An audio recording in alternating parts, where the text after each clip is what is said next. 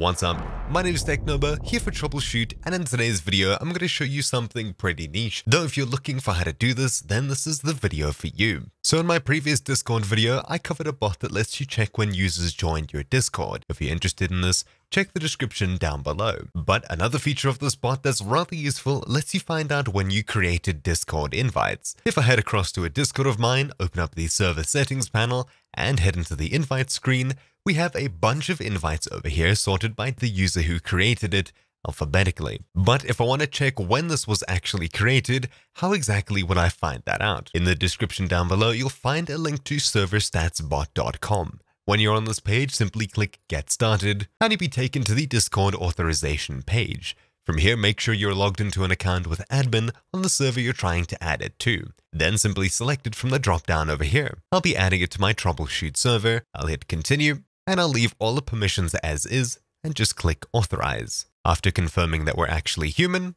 it then gets added to our Discord server. Heading back into Discord, you can see that it joined our server. Now, of course, if you need any help with the bot at any stage, simply type s forward slash help as such, and the bot will return some information. The command that we're looking at today, in particular, is the invite info command.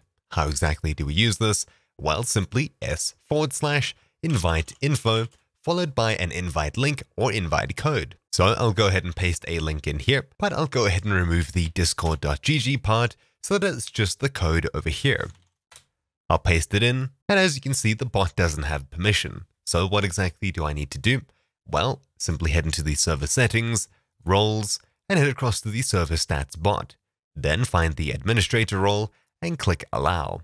I'll click save changes and try in the command again.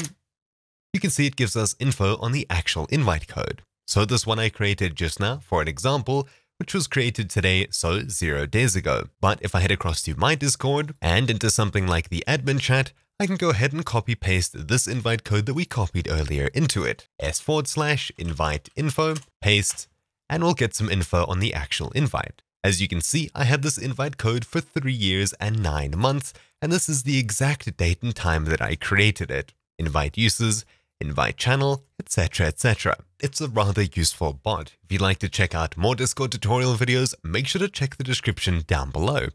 Hopefully you found this video somewhat useful and it answered your question if you had any. My name's been Technobo here for TroubleChute and I'll see you all next time. Ciao.